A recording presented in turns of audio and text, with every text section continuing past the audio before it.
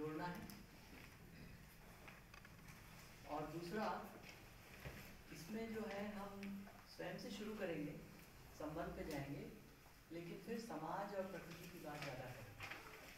वो देखते हैं क्योंकि पहली बार ये कोर्स हो रहा है तो इसमें हम लोगों को थोड़ा समय लगेगा पर शुरुआत तो इसकी वैसी ही है इसमें कुछ लोग तो अपनी क्लास कर लिए और जुड़ने वाली बात है पहले संबंध संबंध के बाद बातचीत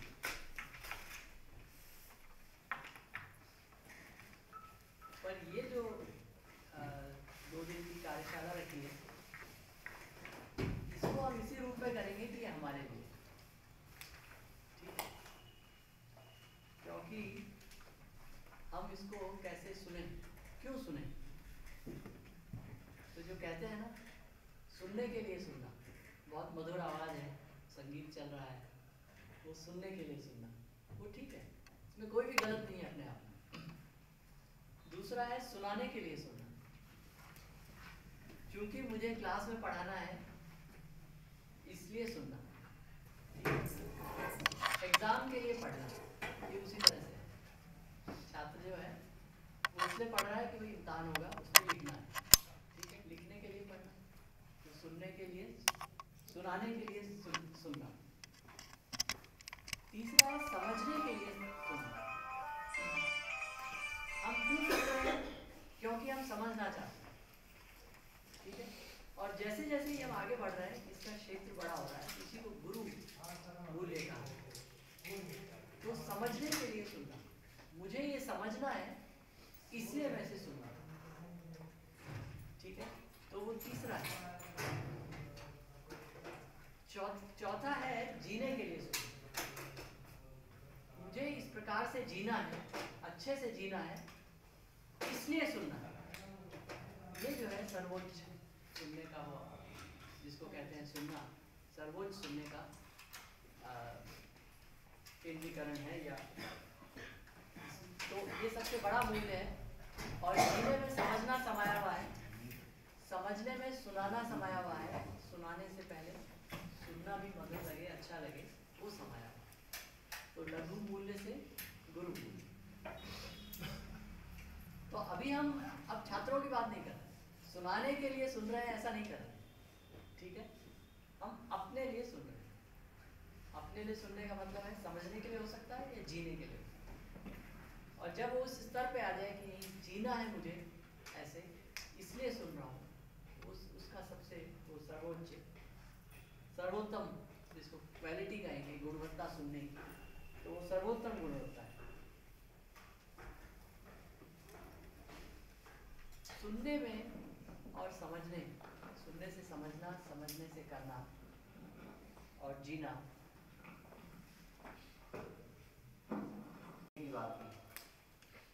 तो हम किस विधि से अपने, अपनी बात दूसरे तक पहुंचाते हैं? तो इसमें संवाद विधि है और संवाद विधि में दूसरे के ऊपर दूसरे को इस पे सोचने का, अपनी शंकाएँ प्रस्तुत करने का मौका मिलता है तो संवाद में प्रस्ताव विधि संवाद विधि का मतलब ये है कि प्रस्ताव। तो इसमें प्रस्ताव रखते हैं और दूसरा उसको जांचता है। और उसको जाँच कर जब ठीक लगता है तब उसको अपनाता है तो ये भी एक स्वाभाविक होने वाली क्रिया है और इसमें अक्सर ये विधि हम अपने जीने में इस्तेमाल नहीं करते अगर जीने के लिए सुन रहे हैं, खाली कक्षा की तक सीमित नहीं, पर जीने के लिए सुन रहे हैं तो हम जीने में क्या इसको अपनाते हैं? हम जब लोगों से बात करते हैं तो हमारी जो विधि है, वो संवाद की विधि है या दबाव की विधि है? क्योंकि दबाव तो किसी को स्वीकार नहीं ठीक दबाव जो है, उससे हम बात मान लेंगे ये ज़रूरी नहीं। दबाव से, दबाव को देखकर कक्षा में, परीक्षा में सही उत्तर दे सकते हैं, लिख सकते हैं। पर वो उसको जीवन में अपना लेंगे ये मुश्किल। तो इसमें हमें खुद ये देखना है कि हम कैसे, जिसमें जो अपनी बात दूसरे के सामने रखते हैं तो कौन से दबाव से रखते हैं या संवाद के माध्यम से रखते हैं। परिवार में अपने, हम अपनी बात कैसे रखते हैं? छोटे बच्चे से कैसे बात करते हैं? संवाद के रूप में बात करते हैं कि दबाव के रूप में बात करते हैं? ठीक है? जब वो, और अगर वैसे देखें तो दूसरा व्यक्ति तो हमारी, और खासकर अगर बच्चा है, वो तो सुनने को तैयार है। लेकिन हम अपनी बात समझा नहीं पाते। तब फिर दबाव डालते हैं कि नहीं, ऐसा ही है, इसको मान लो। तो वो मानता नहीं है, वो कहता है अच्छा ये परीक्षा के लिए आवश्यक है। जीने के लिए उसको स्वीकृति नहीं है। तो वो चाहे टेक्निकल सब्जेक्ट हो, चाहे कोई मानविकी का विषय हो, और अगर मानव मूल्य वाला विषय है तो वो तो पूरा ही इसी विधि से हो सकता है, और कोई विधि नहीं तो इसमें दबाव किस तरह से हम डालते हैं? या दबाव किस प्रकार का महसूस करते हैं? क्योंकि अपना करना पहले नहीं दिखता है। अपने ऊपर जो हो रहा है वो दिखता है। हम अगर कुछ गलती कर रहे हैं, वो नहीं दिखती है। दूसरा जब गलती कर रहा है और वो हमसे संबंधित है, तुरंत दिखता है। तो दबाव में जो बात की है, और आप लोग वैसे परिचित हैं उससे तो भय और प्रलोभन।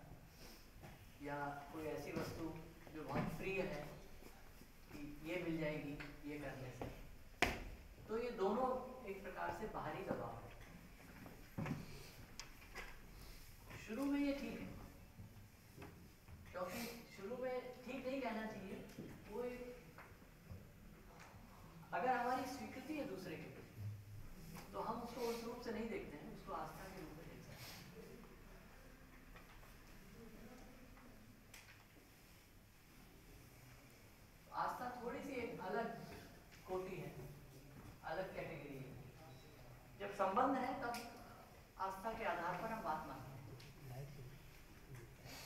लेकिन ये पर्याप्त नहीं, क्योंकि जब हम आगे जाते हैं तो हम समझना चाहते हैं कि हम ऐसा क्यों कर रहे हैं। और आज का जो युग है, वैज्ञानिक युग है, तर्कपूर्ण युग है, तर्कशील युग है। पूर्ण नहीं है तर्क, लेकिन तर्कशील ज़रूर है। तो उस युग में आस्था के आधार पर बहुत कुछ ज़्यादा कर नहीं सकते हालाँकि शुरुआत आस्था से ही होती है जो बच्चा है, अपने माता पिता के प्रति विश्वास रखता है कि जो बता रहे हैं, बिल्कुल सही बता रहे हैं। जब वो स्कूल में जाता है तो जो अध्यापक बता रहे हैं, बिल्कुल सही बता रहे हैं। वो ये मानकर ही सुनता है और मानकर ही उसको अपने जीवन में उतारने का प्रयास करता है। लेकिन जब उसके प्रश्न प्रश्न आते हैं और उसका अगर हम जवाब नहीं देते हैं या नहीं दे पाते हैं तब उसमें उसके मन में शंका होती है?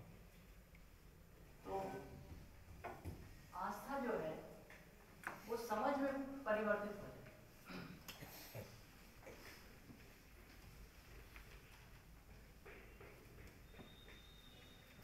तो मेरे माता पिता ने मुझे बताया, मेरे गुरु ने ये बताया, इसलिए ये सही है। वहाँ से हम पहुँच जाए कि इसलिए सही है क्योंकि ऐसा ही है सत्य ऐसा ही है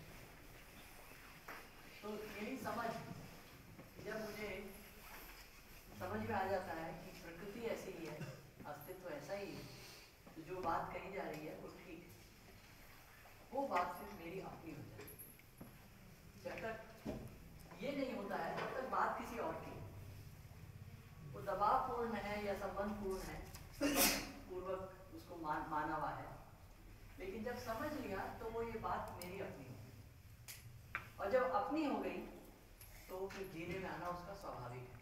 उसके लिए भी कुछ प्रयास करना पड़ सकता है, लेकिन वो जीने में आना जो आना बिल्कुल स्वाभाविक है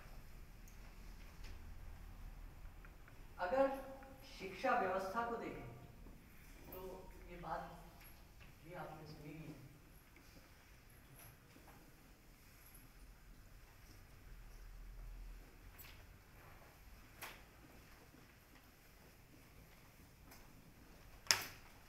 या व्यवस्था की बात बाद में लाते हैं अगर स्वाभाविक शिक्षा के रूप में देखें तो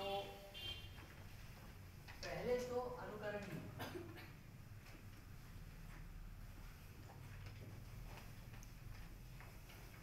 इसको मानते हैं, जो प्रचलन में है, ठीक लगती है, उस पर प्रश्न नहीं किया है, पर ये ठीक ही होगी ये मान कर अनुकरण करते हैं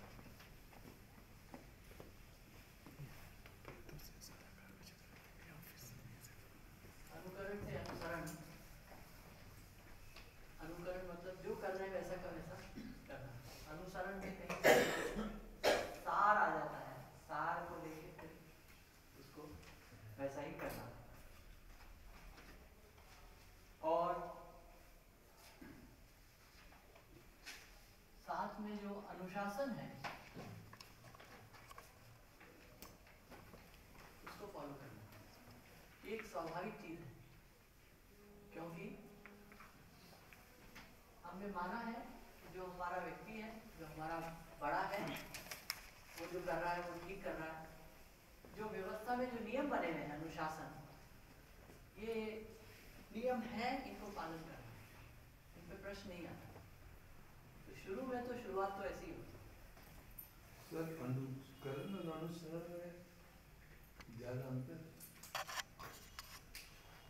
इसमें किस अर्थ में शब्द को लेंगे थोड़ा सा ये है। अनुकरण में ये होता है कि जो कर रहा है दूसरा वैसा ही करना।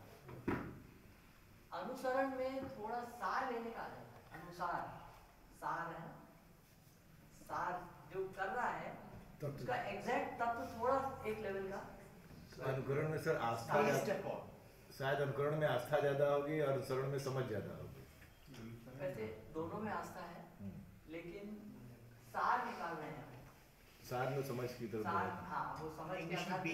उसका हम जो भी हमें समझ में आता है इसका ये तो एक हद तक समझ चाहिए। सर थोड़ा पाथ डिफरेंट हो, हो सकता है मीन्स हम करना वही चाह रहे हैं लेकिन अपना थोड़ा पाथ अपना भी ऐड कर दिया इसमें अनुसरण। ये मानकर कि सार वही है। ये सर वही कर करना वही है जो हाँ मैं वही कर रहा हूँ ये आता है। सार रूप में वही कर रहा हूँ। ठीक है। हाँ। जो है मतलब दूसरा ये ठीक कर रहा है इसलिए मैं भी कर रहा हूँ। तो कहीं पे उसे ठीक मान के कर रहे हैं दोनों। सर इसको इंग्लिश में जो हम लोग जनरल यूज़ करते हैं one is blind following and the other is after understanding following. Same following. Because हाँ नहीं वो डाइकोटमीज हैं तो ब्लाइंड फॉलो कभी नहीं होता है वैसे। नहीं वो अनुसरण वाला हिसाब जो है उस हिसाब से मैं कह रहा हाँ। I am not going for my reasoning I just kindly उसमें फॉलोइंग करने को कॉपी करना है। यस करने को जो स्टेप वाइज है जो काम हो रहा है उसके एक्शन को कॉपी करना है। वो व्यंजन ऐसे करते हैं तो ऐसे ही करना है। बाद में समझ आया नहीं नहीं दांत साफ़ करना है थोड़ा तो थोड़ा यूँ यूँ भी करना चाहिए। या ध्यान से देखा उसका सार लिया शायद से सब समझ के लिए करना था। समझ के लिए कर पहले तो ऐसे कर लिया जो करना था। लेकिन सेकंड स्टेज पे साथ समझ के, के लिए कर रहे हैं समझ के लिए नहीं कर रहे हैं। सेकंड स्टेज पे ना, समझ का नहीं है समझ थोड़ा समझ समझ देखिए ज्ञान के अर्थ में है। तो ये तो या तो विधि कह सकते हैं विज्ञान ठीक है? तो अनुसरण में जो सार लिया अलग अलग स्तर पे हो सकता है पर विधि के रूप में भी हो सकता है ठीक है तो अगर बच्चे का उदाहरण लेंगे तो ये साफ़ आएगा और बड़े रूप में देखेंगे। तब भी व्यक्ति को ये लगता है मैं भी तो यही कोशिश कर रहा हूँ थोड़ा हायर लेवल का एक्सट्रैक्शन हो जाए। है? सार जो है वो निकालने का काम मुश्किल हो जाएगा और दूसरी परिस्थिति होगी उसमें सार निकालना। इसमें ये इसके बाद ये अनुशासन हाँ। ये अनुकरण में ये है कि जब हम कुछ चीज़ लर्निंग कर रहे हैं स्किल अपना लर्निंग कर रहे हैं और फिर लर्निंग के बाद हाँ हमारा तालमेल अच्छा होने लगा उसके साथ में हाँ काम कर रहे ये हैं भी अच्छा उदाहरण तब जो है हाँ तब जो हमारा व्यवहार होगा वो अनुसरण हो तो जाएगा अनुकरण में हम उस चीज़ को सीख रहे कर। पहले करना सीख लिया फिर कहा अच्छा इसमें हम यही चीज़ तो इसका उद्देश्य तो यही है। तो इसको इस रूप से और कर सकते हैं जो है स्टेप वाइज फॉलो के बदले आपको दिखेगा कि थोड़ा सा भिन्न हो गया। लेकिन है वो भी प्रयास उसमें वही। हाँ, कि जो दूसरा कर रहा है वो ठीक कर रहा है उसको फॉलो क्या सर इस तरह से कि कर वही रहे विधि अलग है दोनों? क्या इस विधि- तरह विधि और उसमें तो कुछ परिवर्तन तो होगा ही। सार इसमें मुख्य बात ये है उसका जो हमने सार निकाला उसके अनुसार फिर उसको फॉलो करें एक लाइन फेथ हो गया और एक अंडरस्टैंडिंग के साथ। फिर ब्लाइंड ब्लाइंड फेथ वैसे कुछ? इससे क्या अर्थ है? मैं नहीं समझता हूँ। तो अंग्रेज़ी का शब्द बताइएगा। ब्लाइंड फेथ से क्या मतलब है? हाँ, दूसरे में विश्वास जो होता है कि दूसरा जो है उसको मान लिया है। तो उसको ही फेथ कहा। फेथ के आधार पे करना अनुशासन में जो नियम आए सामाजिक नियम हो, सकते हैं। या संस्था कोई सामाजिक नियम संस्था के नियम हो सकते हैं। जिस भी जगह पर है वहाँ के नियम हो सकते हैं। तो उनका पालन करना अनुशासन का पालन करना अर्थात उनका जो है पालन करना तो ये जो है इसका जो अगला स्टेप है और जो शिक्षा का उद्देश्य है वो है स्व अनुशासन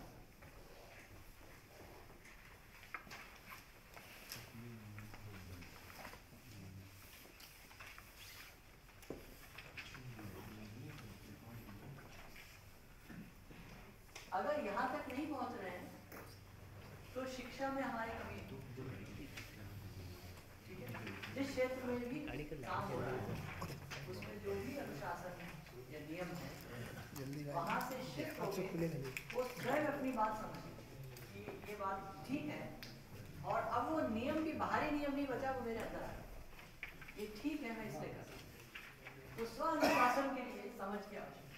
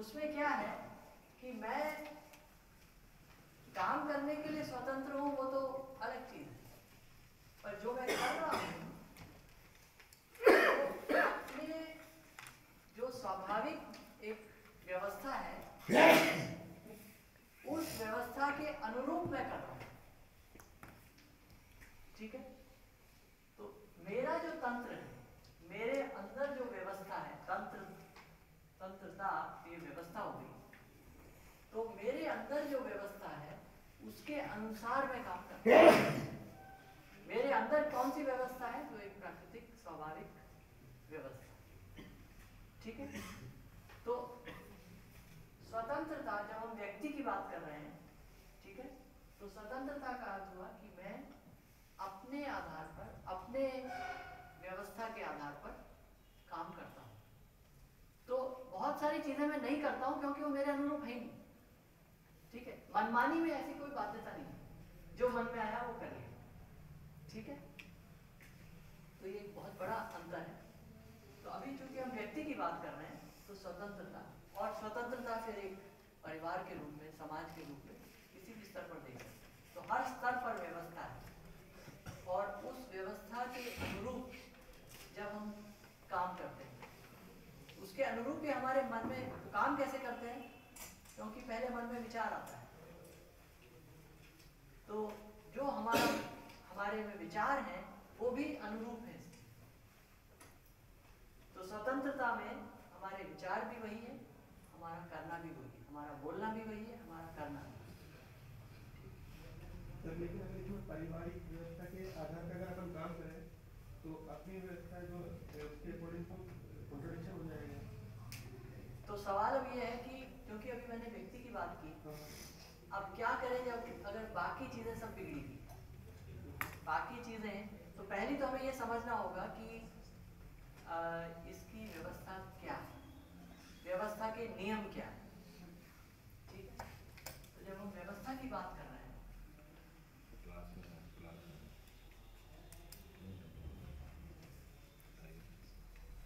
तो पहली चीज़ व्यवस्था है क्या व्यवस्था है? पहला तो है।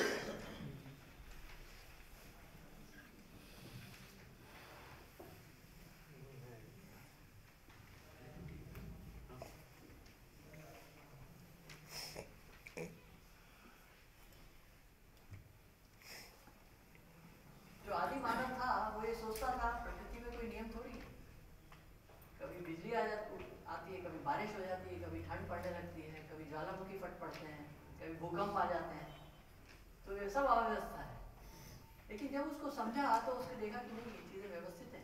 निश्चित नियम के तहत हो रही हैं। ठीक है? तो आदि मानव से ये जो पूरा हमने काल, ये पूरा जर्नी यात्रा की है तो उसमें ये समझ में आया कि जो जड़ संसार है, उसके निश्चित नियम है। उस नियम के अनुसार ही कार्य हो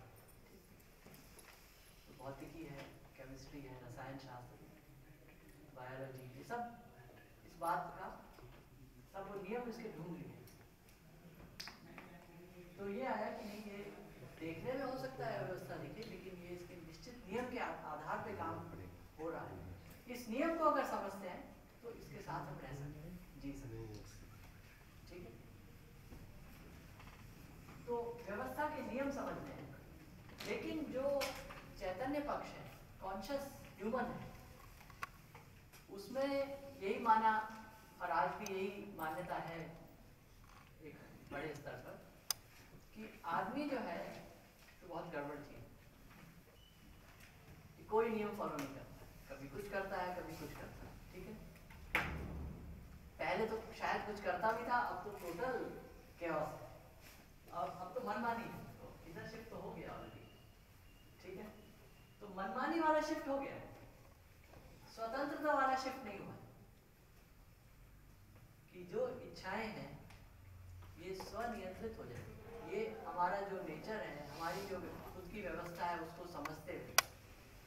और जब समझने की बात है तो स्वयं में जो व्यवस्था है, उसको भी समझना है। परिवार में व्यवस्था है, उसको भी समझना है। समाज में व्यवस्था है, उसको भी समझना ठीक? और प्रकृति की व्यवस्था तो है। तो इन सबको समझते हुए जब हम जीते हैं तो वही स्वतंत्रता। है इसके अनुसार हम जी रहे हैं, ठीक है? तो प्रश्न जो आपका है कि अगर बाहर बहुत गड़बड़ हो रही है तो क्या किया ठीक है? तो अगर बहुत मैग्नेटिक फोर्स आ रहा है तो क्या उल्टी करंट बहना शुरू कर दें क्योंकि जड़ पदार्थ में ये स्वतंत्रता नहीं, निश्चित है। क्योंकि मानव मानव को ये में ये है कि कर्म स्वतंत्रता है, कल्पनाशीलता है। तो अगर हम ये लगता है कि बाकी चीज़ें गड़बड़ है तो क्या हम अपना स्वभाव छोड़ दें? हम उल्टा पुल्टा करने लगे? ठीक है, ये प्रश्न है। तो अगर इसको समझ जाएँगे तो ऐसे काम कर सके जिससे कि ये चीज़ें व्यवस्थित हो। सर, आपने बड़ा अच्छा एग्जांपल दिया था नॉट ऑन कॉम कि जापान में कोई भी मीटिंग हो, वहाँ पर पाँच मिनट पहले लोग पहुँच जाते हैं। तो हम फिर आपने अभी जो कहा, उसको ऐसे कह सकते हैं, अपने अंदर की व्यवस्था को, शिक्षा या सामाजिक व्यवस्था का अनुरूप जब ढाल लेते हैं, वही स्वतंत्रता। अपने अंदर की व्यवस्था। व्यवस्था का तो यहाँ पर एक शब्द या आवश्यक है समझना। व्यवस्था से अर्थ है प्राकृतिक व्यवस्था ठीक है तो अभी जो चल रहा है वो व्यवस्था नहीं है वो अव्यवस्था है। कोई कहेगा कि नहीं यही तो व्यवस्था है। तो शब्द और अर्थ की कई बार बात हुई है तो यहाँ पर व्यवस्था शब्द का जिस रूप में उपयोग हो रहा है वो है जो प्रकृति के अनुरूप तो एक व्यवस्था जो हम बनाते हैं बनाते हैं।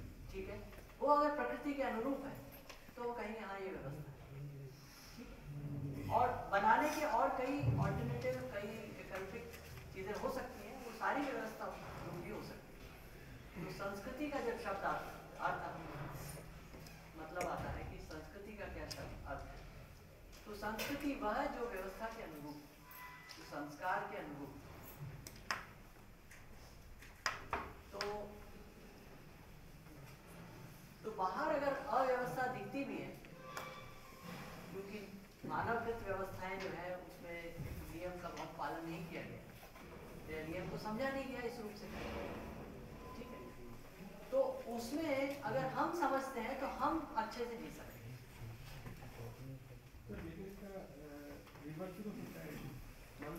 तो हमारे को समझे कि हम अव्यवस्थित हैं, वो हमारे को गलत समझे हम्म, तो तो- तो वो अपने आप को सही करेगा ना हम उसको सही कर पाएँगे वो सोचेगा कि वो गलत है हम सोचेंगे वो गलत है नहीं, ये तो जांचने का मुद्दा है कि हम पहले ठीक है ठीक है पहली चीज़ तो चलिए इस पे बाद में आते हैं इस पे बात करने का और बहुत इसमें ढेर सारी फॉरवर्ड समय मिलेगा रेफरेंसेस हाँ इसका समय मिलेगा इस पे बात करने का क्योंकि इस कोर्स में थोड़ा समाज की बात भी करनी है तो समाज की बात पे अगर उसको कल क्लियर हो ठीक है अ, तो अभी बात क्योंकि दिक्कत थोड़ी सी शुरू भी होती है कि अगर समझते नहीं है और फिर इसको फोर्स करते हैं फोर्स हो नहीं पाता ठीक है या फोर्स के कारण कुछ समय चीज़ें चलती हैं फिर बिखर जाती हैं क्योंकि मूल चीज़ पे काम नहीं किया, आदमी की समझ पे काम नहीं किया। तो अगर आदमी ये समझ जाएगा कि ये व्यवस्था है और ये अव्यवस्था है तो उस रूप से फिर काम शुरू हो कि व्यवस्था हो। और व्यवस्था में रहना ही सुख है। व्यवस्था किसमें हर स्तर पर व्यवस्था। स्वयं में व्यवस्था है, परिवार में व्यवस्था है, समाज में व्यवस्था है, प्रकृति में तो व्यवस्था है। उसके लिए हमें कुछ करना नहीं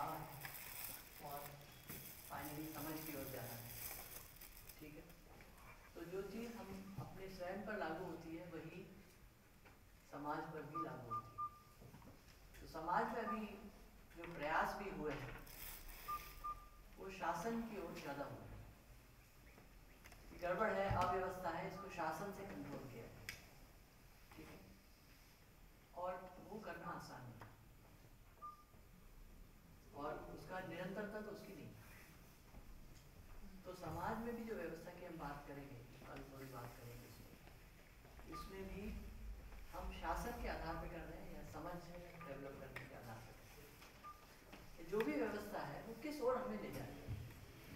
दबाव की ओर ले जा रही है कि समझ की ओर ले जा रही है? दबाव से करवाने की ओर ले जा रही है या स्वयं में समझ उत्पन्न करने के बाद करवाने की ओर ले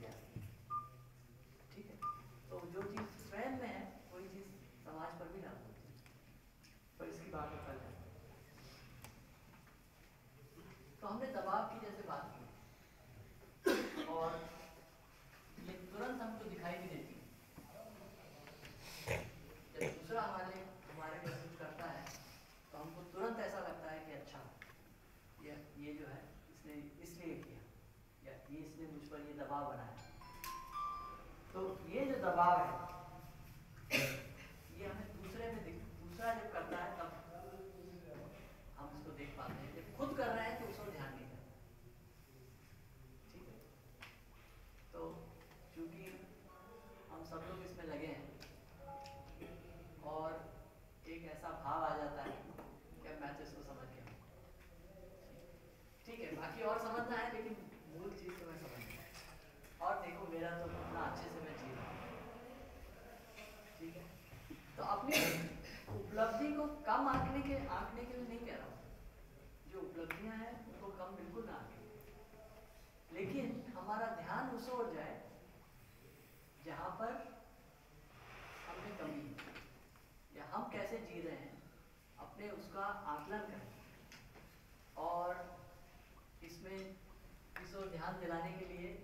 Camden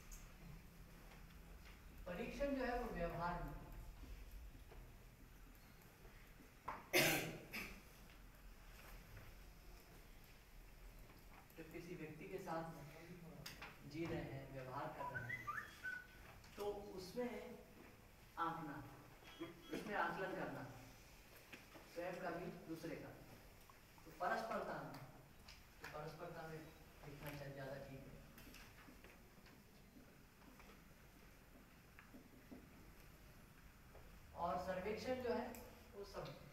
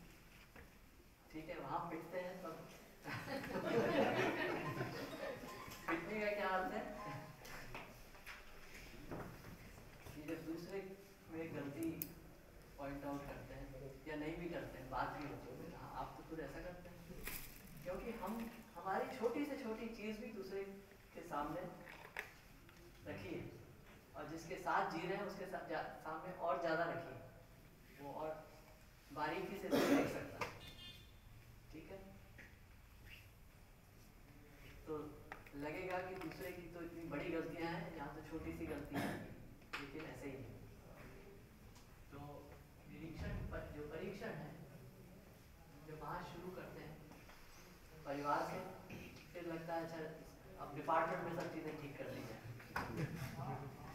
ठीक है? वो भी तो एक परिवार है। ठीक है? वो थोड़ा ज़्यादा बड़ा परिवार है। तो डिपार्टमेंट में जो साथ सहकर्मी है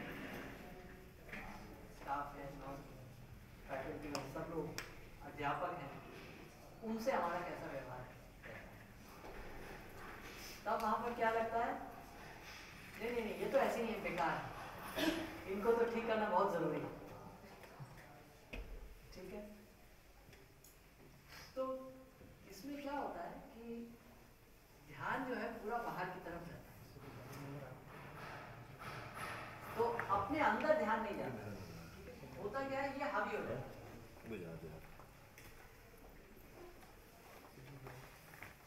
वर्कशॉप से पहले जो है सर्वेक्षण बहुत किया होता है। समाज में ये कमी है, वहाँ ऐसा हो रहा है, यहाँ ऐसा हो रहा है। तो वहाँ से एक शिफ्ट आता है। और वो शिफ्ट यहाँ पर आता है।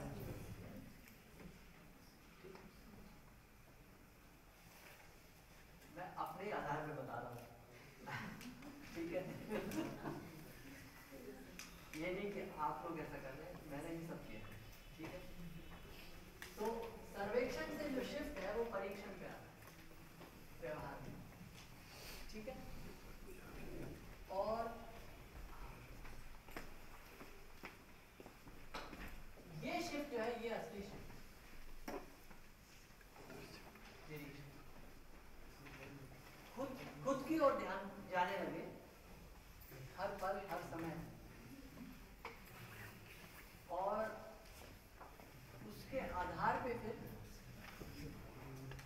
जब ध्यान जाएगा, तब परिवर्तन ध्यान जाएगा, आकलन होगा। ध्यान जाने के बाद ही आकलन होगा। आकलन में हम ये पाएँगे कि ये कमी रहेगी और उसके बाद परिवर्तन शुरू होगा। तो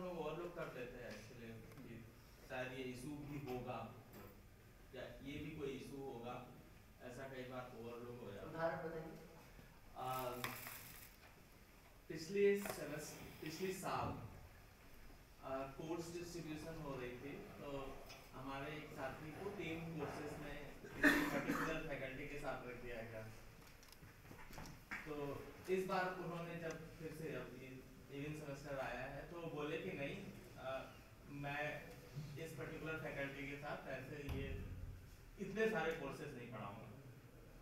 तो उन्होंने अपने से रीसफल करके उसको मिनिमाइज किया जितना कर ठीक है तो फिर मैंने लिस्ट सर ने मांगी थी तो सब चली गई जो भी जाना था। नहीं नहीं अच्छा नॉर्मल कोर्स इसके कुछ दिन बाद वो आके बोले कि तुमने पॉलिटिक्स की थी कि मुझे उस पर्टिकुलर फैकल्टी के साथ तीन कोर्सेज में रखा था। इस बार मैंने वो पॉलिटिक्स को रिवर्स किया हाँ। और इस बार देखो मैं फ्री हो गया। और जब वो कोर्स डिस्ट्रीब्यूशन यूजीसी कर रहे थे सर कंसल्टेशन में कर रहे थे तो वो कहीं इशू भी नहीं था कि मतलब ये कोई इशू हो सकता है। तो वो जो मैं बोल रहा हूँ गलत आकलन की मतलब वो जो तुमने पॉलिटिक्स की। तो देखिए दो चीज़ हो सकती है। ये इसको ध्यान पूर्वक किया गया है ठीक जिसको पॉलिटिक्स बोल रहे हैं ठीक है ध्यान पूर्वक किया गया तो तो वो आप कैसे इसका उत्तर ये हो intentionally नहीं जानबूझ के रखा था क्यों रखा था उसका कारण बता नहीं बता सकते अगर जानबूझ के नहीं किया अनायास ऐसा हुआ तो कह सकते हैं कि इसमें कोई पूर्व पूर्व समझ के कारण ये ध्यानपूर्वक ही नहीं किया ठीक है ऐसा हो गया और मानने को तैयार नहीं था। मानने को तैयार तैयार नहीं है तो फिर डीपर प्रॉब्लम प्रोसेसिंग की प्रॉब्लम ज़्यादा है सेंसर और प्रोसेसिंग तो लेकिन व्यवहार सर में अगर तीन परस्पर का जगह परीक्षण रिपीट होता है किया तो जानबूझ के ही किया गया अगर अगर उसके स्थान पे कोई भी आदमी रहेगा और तीन जगह देखेगा रिपीटेड है तो एक जगह रिपीट हो सकता है दो जगह लेकिन ये एक जगह नहीं कोर्स असाइनमेंट की प्रॉब्लम की इशू था। कि ये दो लोग इस पर्टिकुलर कोर्स को पढ़ाएँगे तीन कोर्सेज थे तो ये दो लोग लेकिन ही नहीं, मैं ये नहीं कर रहा हूँ उसकी भी गलती नहीं है जो आदमी आपके ऊपर ऐसा कह रहा है। उसको ये लग रहा है कि आपने किया भले आपने न किया हो। तो ये रिफ्लेक्ट करता है क्योंकि प्रूफ जो है जब वो आपके इंटेंशन डाउट कर रहा है। ये की पॉइंट तो जब एक पैटर्न हमें दिख रहा है उस पैटर्न के पीछे क्या भावना है? बहुत सारी चीज़ों में पैटर्न दिखेगा, क्योंकि अभ्यास उस तरह का है। आप ये कहेंगे कि अच्छा इस परिवार में ये बीमारी ज़्यादा होती है। क्यों होती है? पता चला उनके जो खाने का जो तरीका है, अभ्यास है वो। जेनेटिक्स में खराबी नहीं है। ठीक है?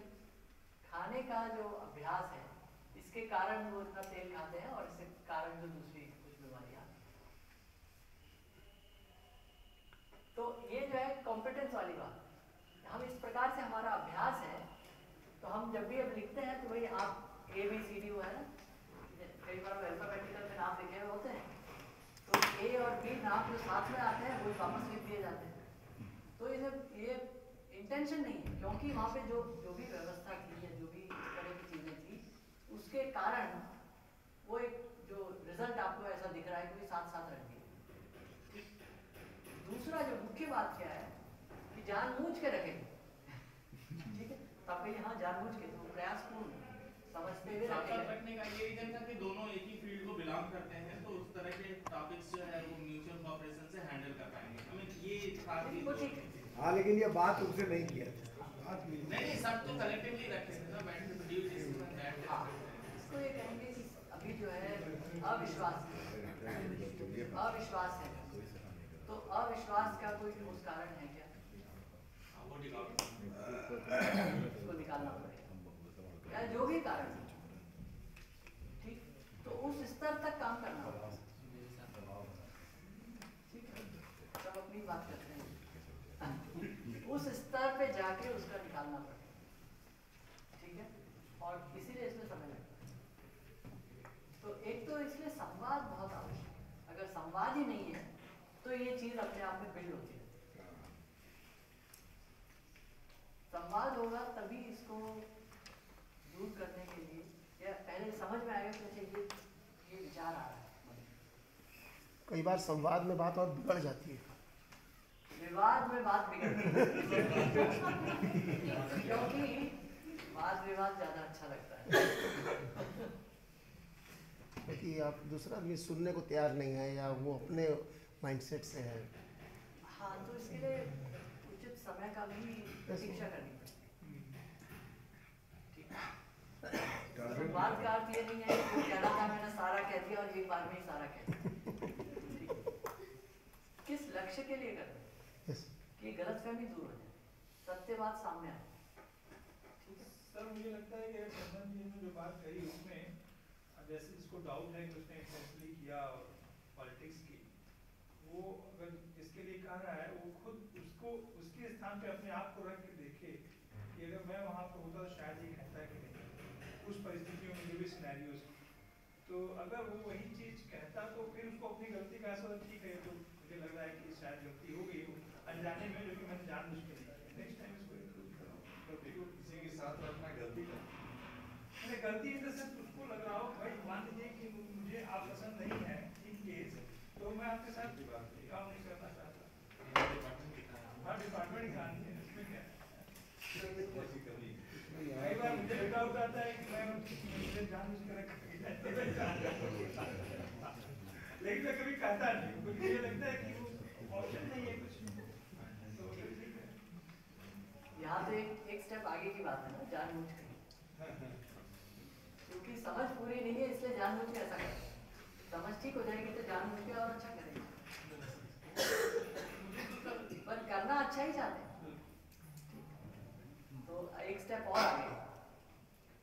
तो उस स्टेप को अगर ध्यान में रखेंगे तो इन सबसे डील करना आसान होगा ठीक है ऐसे व्यक्ति जो आप आपके ऊपर आते ही चार्ज लगाते हैं ठीक है तो आप ये समझ जाएँगे कि ये ना समझ है तो डील करना आसान है एक कारण ये भी हो सकता है कि अगर वो आदमी हर जगह है तो जो उसके साथ है वो जानता ही है कि ये तो है ही है सब करेगा। नहीं हमको लगता है सर कुछ पूर्वाग्रह वाला हिसाब भी है मैंने earlier instance instances might have been such that creates the down track जो आपने पहले कहा उसके जड़ में जाना पड़ेगा। Why exactly he is giving this? charge and in many a times it might be because of some other things which had happened earlier one or many which might be creating into this सब वही ना मेरे अंदर क्या व्यवस्था है क्या वो Exactly. सिस्टम है कौन Could I believe that my, my sector has been understood? देखिए होता ये है होता ये है कि हम शॉर्टकट ढूंढते हैं No, that's it. ऐसी जब परिस्थिति आती है. तो सोचते हैं कि अरे इसको हम हटाया जाए तो मैंने तो ये जीवन में ये पाया कि long cut is the shortcut जो प्रॉपर रास्ता है वही शॉर्टकट बाकी सारे जो हैं वो उलझने वाले रास्ते हैं वो लगता है कि वो शॉर्टकट है लेकिन वो बाद में और उलझते हैं।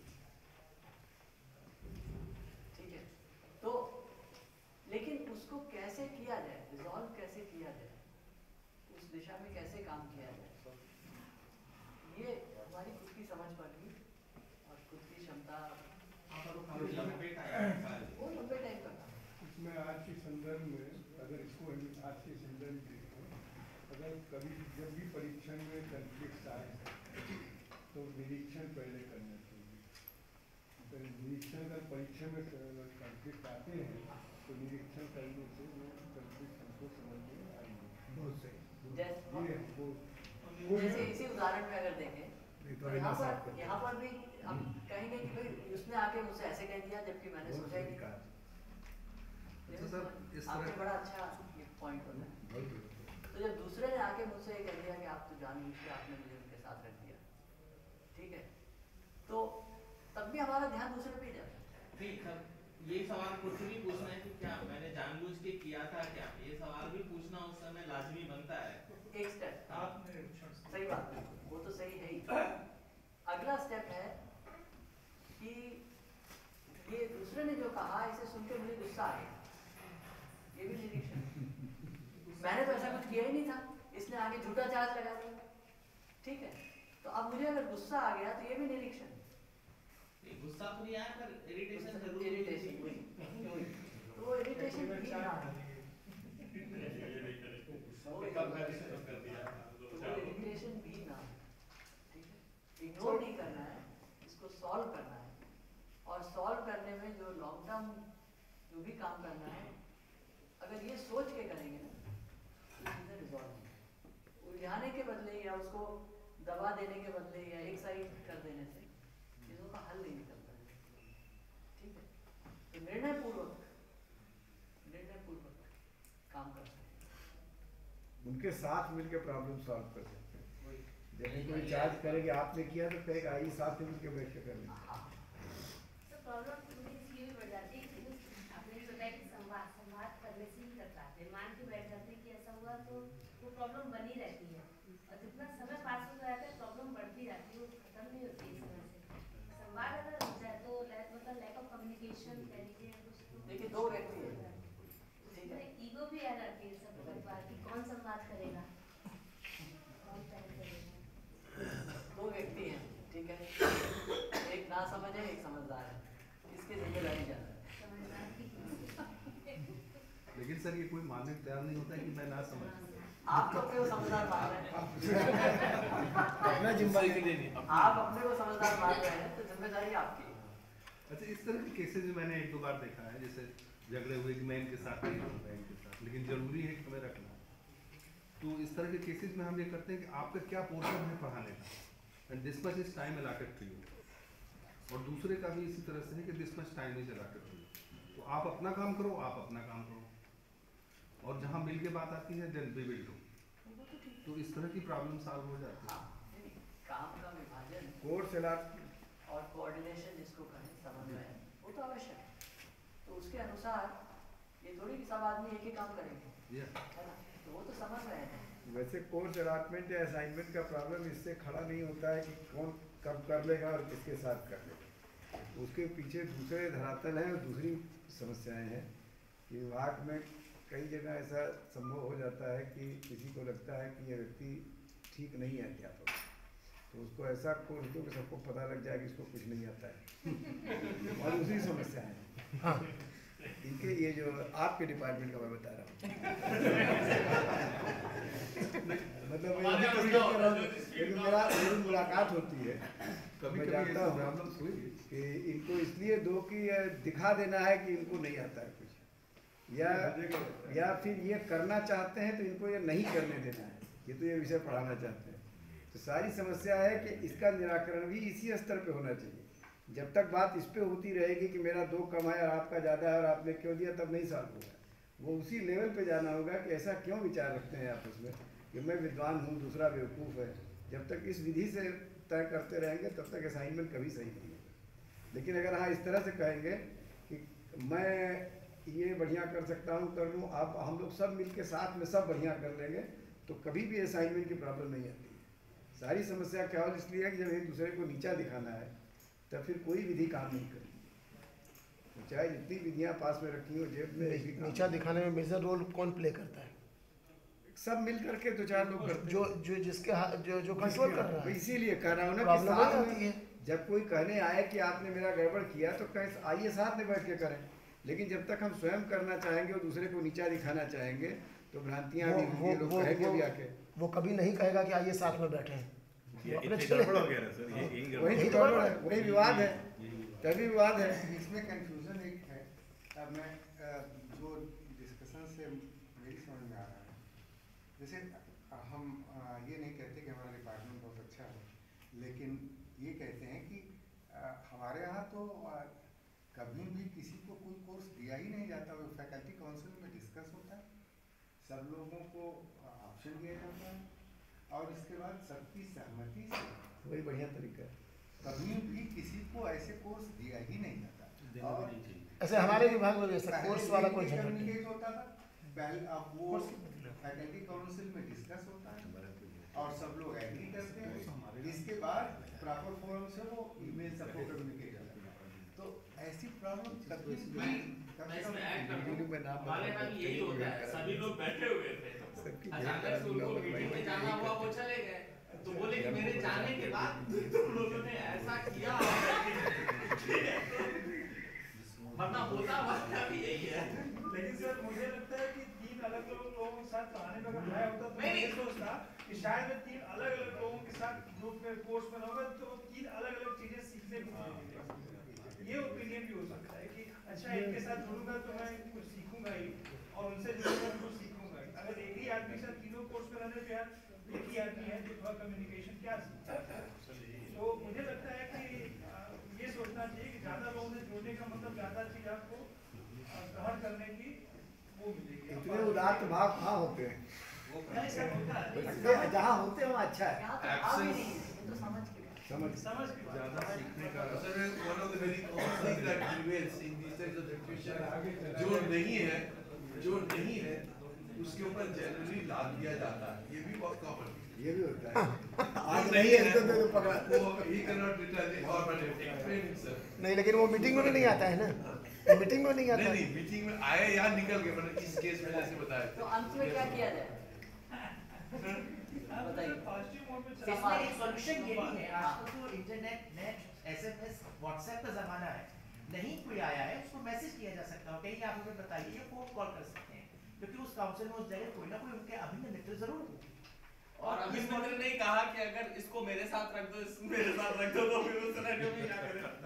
वो तो अभिमन्यु ये समझ के बोल रहा है कि इसको मेरे साथ दे दो। और फिर जब अभिन मित्र आ रहा है तो दूसरे को बोलना है कि तुमने पॉलिटिक्स करके मेरे अभिन मित्र के साथ है। इसमें- क्या मैं अपने को विक्टिम समझता हूँ। सर इसमें हम एक चीज़ शेयर क्या मुझे करेंगे। लगता है कि सब मुझे खाने के लिए दौड़ पड़ी है और एक हो गए। ये अंदर का एक सेल्फ कॉन्फिडेंस की लैक सभी तरह के हाँ ये हमें लगता है कि हर कोई मेरे विपरीत खड़ा है। इसमें एक चीज़ सर शेयर करेंगे और हमको लगता है लोगों के लिए यूज़फुल भी होगी। मतलब सर एक बार हमने प्रोफेसर त्रिपाठी से पूछा अच्छा आप ये बताइए कि आपने दो टर्म्स हेडशिप की। लेकिन मैं आपको देखता हूँ बड़ा पीसफुली मतलब स्माइलिंग रहते हैं और जॉली रहते हैं। टी क्लब में भी आते हैं कभी ठीक हॉस्पिटल डिपार्टमेंट की प्रॉब्लम नहीं फेस करते क्या रीज़न है? आपके दुश्मन नहीं हुए। हाँ हाँ ये भी मैंने कहा ये भी मैंने कहा। नहीं ऐसे फॉर्चुनेटली इनके कोई दुश्मन है अगर होंगे भी तो वो अपने आप को समझते होंगे। ये नहीं समझते। तो इन्होंने कहा कि इन्होंने बड़ी अच्छी बात बोली जो लोगों को शेयर करने है इन्होंने कहा कि मैं कोई भी मीटिंग होती है कोई भी इशू होता है अपना कोई रिजोल्यूशन मतलब उसके एजेंडा के अगेंस्ट में कोई रिजोल्यूशन तैयार करके कि मुझे इस इसमें अब इसको यहाँ बैठा देना है इसका ये करना है ये मैं कभी नहीं करता। वहाँ जो लेके जाता हूँ वहाँ जो डिस्कस होता है और जो प्रेसिपिटेट होता है उसी को मान लिया जाता है। और बहुत ही सेल्डम मतलब न के बराबर हमारे इंटरेस्ट को हम वहाँ पर सॉल्व करने की कोशिश करते हैं। ये एक बहुत बड़ी बात है। अगर ये ये एक बड़ी तो बात यही एक तरीका और है। इसी में भी मैं आपके सामने भी आप इसी को इसी को तो यही एक तरीका है। यही एक तरीका चलाने का यही तरीका है कोई दूसरा लेकिन दिक्कत ये है ना हर कोई प्रोफेसर त्रिपाठी है नहीं। तो पढ़ने की कोशिश करें। मतलब इतना नहीं नहीं। जी के डिपार्टमेंट में टीचर्स कम है। तो उसका भी एक फ़ायदा मिलता है। है। है। नहीं जहाँ नहीं एक सेकंड सर अरे बायोकेमिकल में सर बायोकेमिकल में सर सर एक सेकंड माफ़ कीजिएगा। हाँ, कम ज़्यादा की बात Yes. नहीं हो लेकिन यहाँ तो इतने काउंटर एग्ज़ाम नहीं नहीं बल्कि मैं आपको बताऊँ जहाँ कम लोग होते हैं वहाँ प्रॉब्लम ज़्यादा होती है। परिवार में हस्बैंड वाइफ बच्चे रहते हैं है। ऐसी बात नहीं है वो तो how you handle the things ये। चार ही पाँच ही होते हैं मेहनत बाकी तो रहेंगे तो पढ़ाई लो एक कॉन्फिडेंशियल मैं एग्जैक्ट नहीं कहना चाहता लेकिन अगर मुझे परमिट करें तो हम आपका लें। नहीं वो नेगेटिव है तो बताइए वह इशू कॉन्फिडेंशियल नेचर था। और आप वो कंफर्म करना चाहते और पहली बार मेरे जीवन में अनुभव हुआ। मैं कभी ये महसूस नहीं किया, मेरे प्रैक्टिकल लाइफ में नहीं है आपने स्पीकर ऑन कर दिया। और आप संवाद करने लगे और हम वहाँ बैठ के सुनते रहे और सोल्यूशन इसके बाद आधे घंटे के अंदर निकल मेरा ये एग्ज़ाम्पल चूँकि कॉन्फिडेंशियल एग्ज़ाम्पल मैं यहाँ एक एग्ज़ाम्पल यही लेना चाहता हूँ कि जहाँ कहीं ऐसी स्थिति है कि कोई भी कलीग चला गया किसी कारणवश तो आज के ज़माने में तो बहुत आसान है। स्पीकर ऑन कर दीजिए और मीटिंग स्टार्ट कर दीजिए उनसे और अ, निर्णय ले लीजिए ये तो बहुत ही ट्रांसपेरेंट है मतलब आप मर्डर करवाना चाहते हैं। बैलेंस भी होना चाहिए mobile there is no guilt there is no guilt unless there is guilty intention बात की बात है। दरअसल ये है ट्रांसपेरेंसी की बात थी तो संवाद से शुरू करें। ठीक है? और संवाद जो है एक बड़े स्तर पर आता है वही ट्रांसपेरेंसी तो इन सब उदाहरणों में बस एक चीज़ का ध्यान रखिए परीक्षण तो कर ही सकते हैं कर ही रहे हैं उसमें निरीक्षण में ठीक निरीक्षण में आपका ये भी भाव आएगा, समझ में, खुद के अंदर। ये जो इरिटेशन हुआ कि ये तो अंदर ऐसे ही करता है। ठीक है? जिस दिन आप उसको एक्सेप्ट कर लेंगे कि हाँ ये ऐसे ही करता है। और ये क्यों करता है क्योंकि समझ नहीं करता तब आपकी ज़िम्मेदारी क्या बनती है मैं उसकी समझ में अब काम करूँ। ठीक है अगर अपने को समझदार मानते हैं अगर ये मानते नहीं नहीं वो तो ठीक ही कह रहा था हम तो जान नहीं ठीक ही वो अलग बात है। तो जहाँ हमें लगता है हम ठीक हैं हम ज़्यादा जिम्मेदार हैं समझदार हैं तो वहाँ पे हमारे ऊपर ही ज़्यादा ज़िम्मेदारी भी आती है तो वो जो इरिटेशन वाला भाग है वो चला जाता है ठीक है बल्कि आप दूसरे को देखेंगे कि वो कितनी दयनीय स्थिति है। ये नहीं कि वो आपके साथ कर रहा है वो सबके साथ ही कर रहा होगा वो अपने परिवार में भी कर रहा होगा कितनी दयनीय स्थिति में ये सोचिए ठीक है और ऐसी स्थिति में उस व्यक्ति के प्रति सहानुभूति तो अपने निरीक्षण के बाद ये निष्कर्ष इस पे पहुँच सकते हैं इस दिशा में तो आपका वो बिल्कुल बदल जाएगा कि कैसे डील करना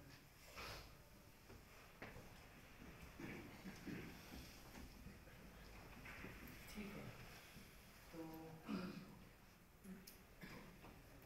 तो एक सवाल ये है तो यहाँ से हम आए थे स्व अनुशासन ठीक है और स्व अनुशासन कब आएगा जब हम स्वतंत्र हैं।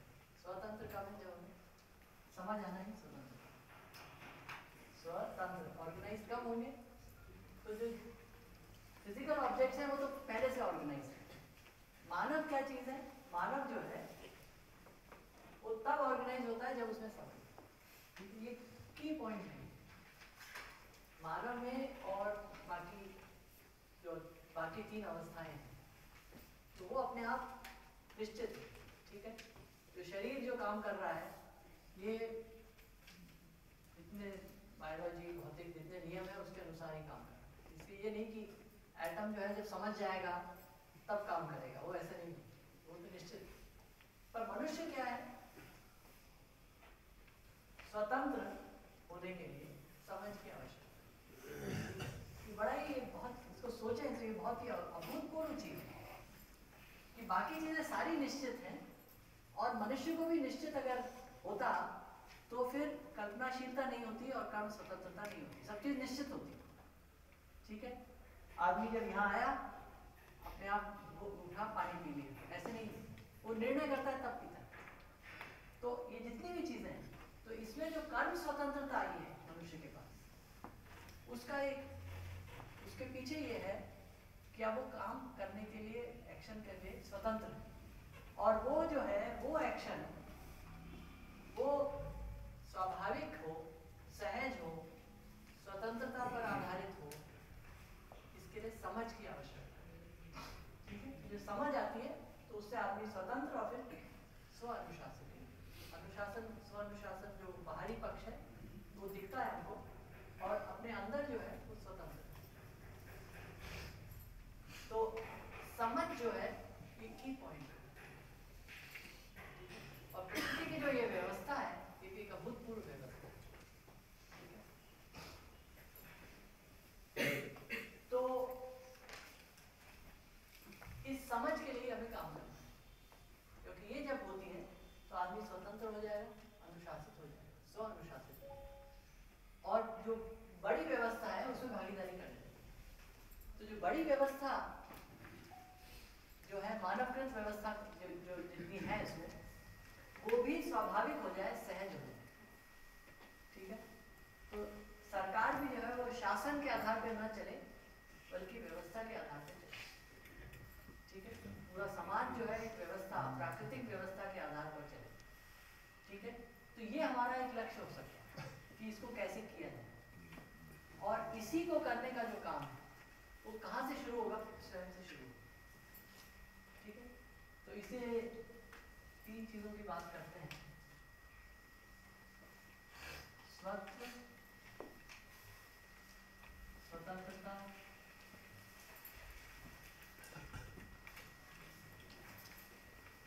और स्वराज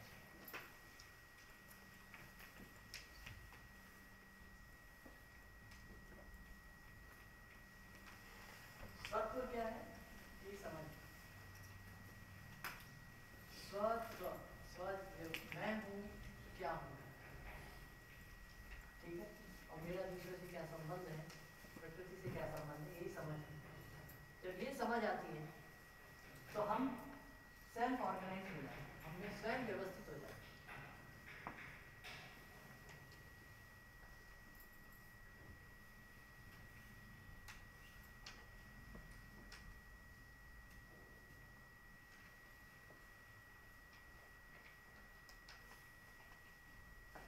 ठीक है और जब जीने जाते हैं इसका जो एक्सप्रेशन है व्यक्त होना है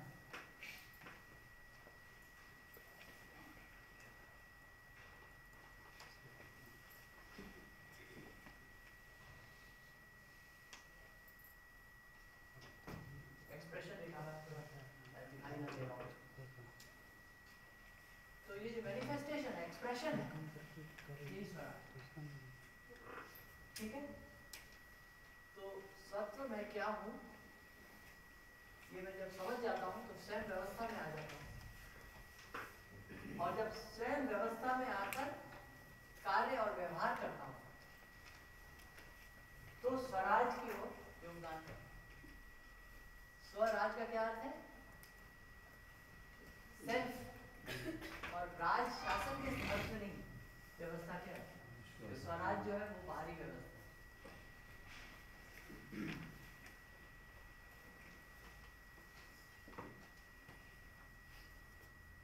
ये जब हो जाता है ये सुख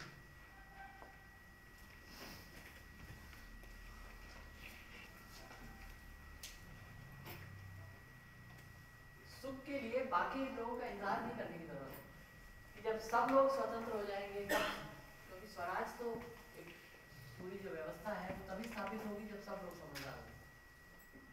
तो तब तक मैं दुखी रहूँ क्या? पर समझ में आने से ही सुख।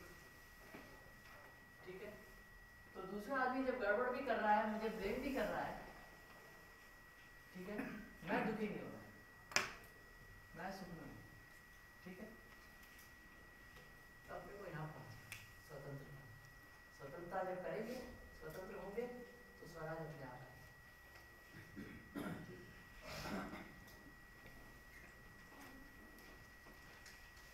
लेकिन एक से स्वतंत्र होने से क्या स्वराज आ जाएगा ये स्वराज नहीं है अपना वाला है।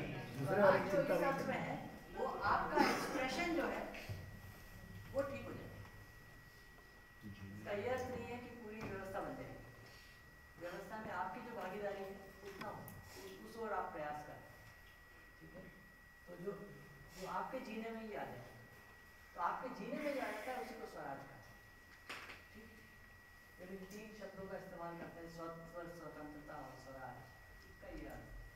लेकिन अगर सब लोग इसमें इस तरह से जी रहे हैं और एक ऐसी व्यवस्था बन बन गई है कि जहाँ पर जो नहीं भी जी रहे हैं वो उस दिशा की ओर आगे बढ़ रहे हैं तो उसको हम कहेंगे कि अब व्यवस्था स्थापित हो।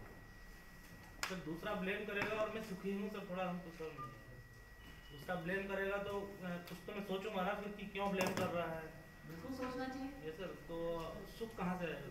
सोचने में दुखी होता है। नहीं दुखी तो नहीं होते हैं सर। बट कुछ गड़बड़ है तभी ब्लेम कर रहा है मतलब। तो उसको पता करना। तो गड़बड़ कहाँ पर है? इसको पहचानना होगा? तो मेरे अंदर कुछ गड़बड़ है ना सर। तो फिर मैं सुखी कैसे हुआ मतलब कहीं ना कहीं मेरे तो अंदर गड़बड़ है तो सुखी नहीं रह पाएँगे ये सर नहीं रह पाए। तो इसीलिए जब उसको और ठीक करेंगे। रिफाइन करेंगे परिष्कार होगा उसका। लेकिन एक- एक स्वतंत्रता की ओर बढ़ रहे हैं। व्यक्तिगत अनुभव मुझे बहुत बार बहुत उम्र में पता चला। मैं महसूस करता हूँ कि अगर आदमी सुखी रहे, कितना भी कोई ब्लेम करता रहे तो वो ज़्यादा से ज़्यादा ब्लेम करने की कोशिश करेगा, ज़्यादा से ज़्यादा वो फ्रस्ट्रेट होगा। और अंत में एक स्थिति आएगी कि जब वो डायलॉग के मूड में आ जाएगा तब उसको वो, इसीलिए वो काम ही करेगा कि इसको परेशान किया जाए। लेकिन आप सुखी आप स्वतंत्र, अपने स्वयं जो सहज स्वभाव है, उससे अपना काम करते रहिए। सुखी, खुश रहिए।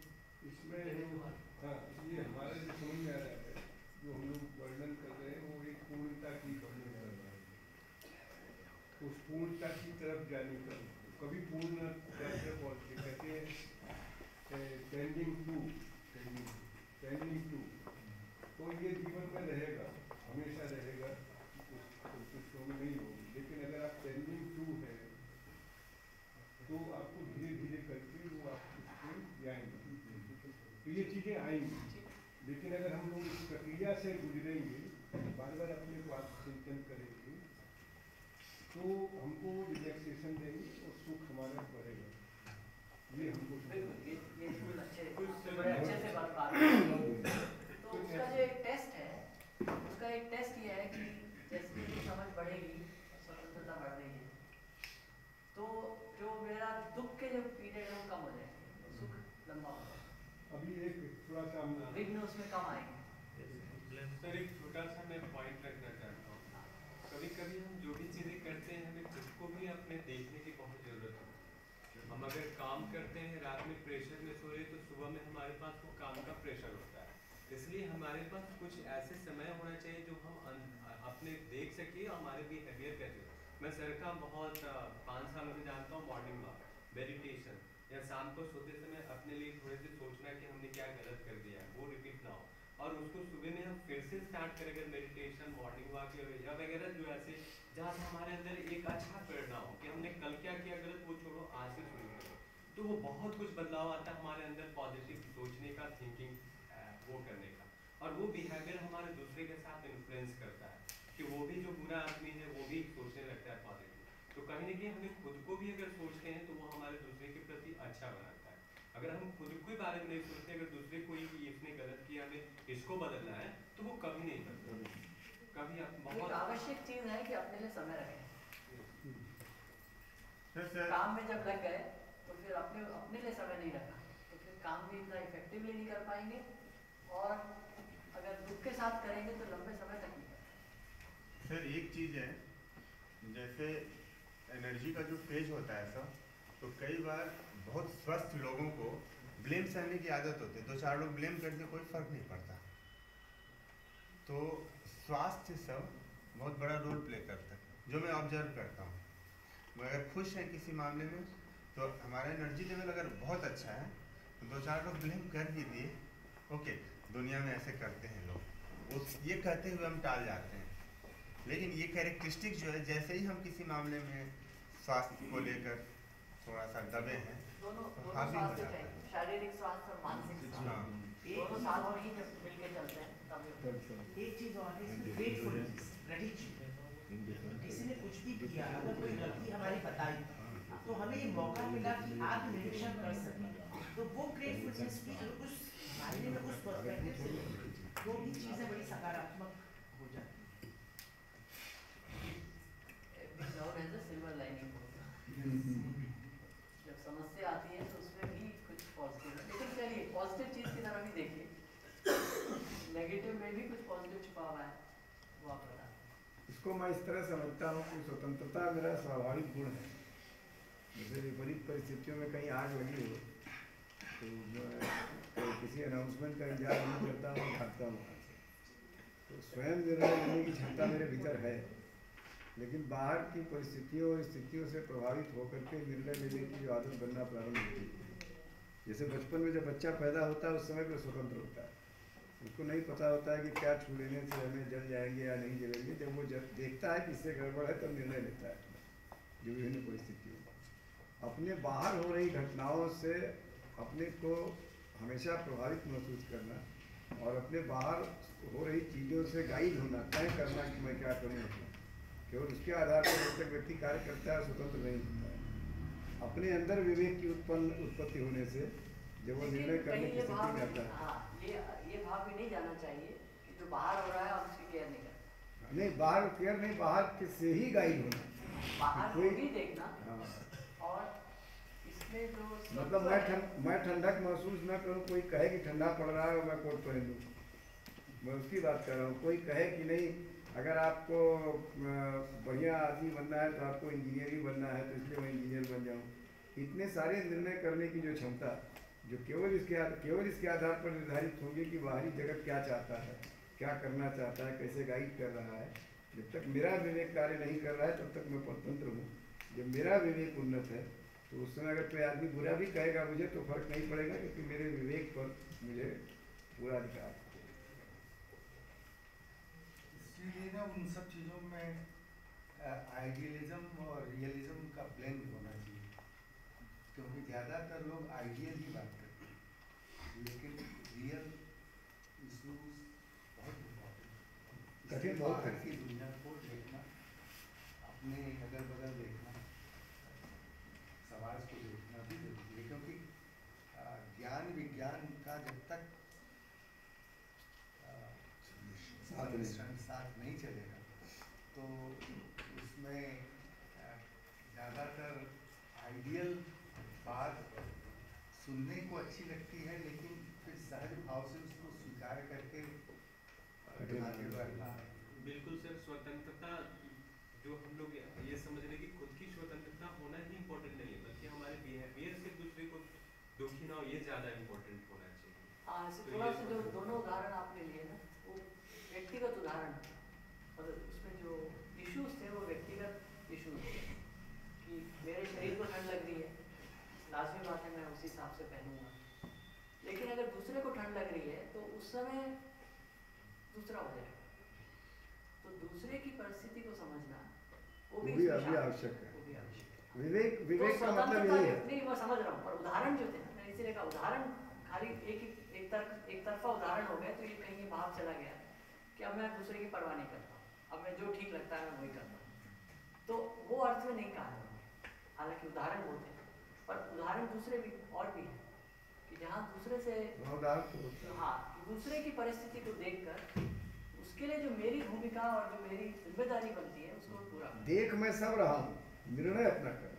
हाँ। भाई उदाहरण इसलिए दूसरे जोड़ दिए दूसरे उदाहरण ये है कि हाँ दूसरे को क्या आवश्यकता है उसमें मेरी क्या भूमिका हो सकती है? वो भी उदाहरण ठीक है? तो जो दूसरा आदमी जो त्रस्त है ठीक है है तो मेरा मेरे परिवार में है मेरे डिपार्टमेंट में है मैं अब क्या कर सकता हूँ? कि वो लॉन्ग टर्म चीज़ें ठीक हो ये मानते हुए कि कोई जादू नहीं है कोई इमीडिएट हाँ। इमीडिएट आंसर कोई उससे तुरंत प्रभाव होगा ज़रूरी नहीं है। लेकिन एक चीज़ और भी समझनी है कि इसको कैसे कहते हैं कि we overestimate the short run and underestimate the long run हम इसका क्या अर्थ है? जो चीज़ होने वाली है, जो परिस्थितियाँ हैं, उस और हमारा बहुत ध्यान रहता है। हम उसको ओवर एस्टिमेट करते हैं, एक तरह से। ये तो करना बहुत ज़रूरी है, ये, ठीक? दूसरी तरफ़, जो चीज़ एक साल बाद होने वाली है उसको हम अंडर एस्टिमेट अरे, इससे कुछ नहीं होगा। इसमें तो दस साल लगेंगे, ठीक है? और वो पाँच साल बाद भी उस व्यक्ति से जाके पूछेंगे, वो यही कह रहा होगा, इसमें दस साल लगेंगे, ठीक है? तो आपने पिछले पाँच साल में कुछ किया इसके लिए? तब हो सकता है पाँच ही साल लगते हैं अगर जो आप आपने खुद ही कहा था दस साल लगेंगे। तो पाँच साल बाद भी अगर आप कह रहे हैं कि हाँ अभी इसमें दस साल लगेंगे तो आपने कुछ नहीं किया, ठीक है? तो भी अंडर एस्टिमेट ये दोनों काम हम कर रहे हैं ठीक है और ये पूरी समाज व्यवस्था में भी यही है और ये घर पर भी यही है व्यक्ति के स्तर पर भी वही है डिपार्टमेंट के स्तर पर भी वही है ठीक है We'll go on हाँ, बिल्कुल बिल्कुल। क्योंकि लगता है ये तो बहुत ज़रूरी है शॉर्ट टर्म तो जो लॉन्ग टर्म के लिए काम करना है वो नहीं करना ये सोच के अरे ये तो बहुत मुश्किल है ये तो हो गई। ठीक है? या इसमें दस साल है वो वही वही बात। तो अपने समयानुसार परिस्थिति अनुसार हम लॉन्ग टर्म के लिए कुछ कर रहे हैं कि नहीं कर रहे क्योंकि कई बार लॉन्ग टर्म पे अगर काम किए होते तो इसमें मैंने एक शब्द और इस्तेमाल किया कि अंडर एस्टिमेट द लॉन्ग उसका क्या अर्थ है?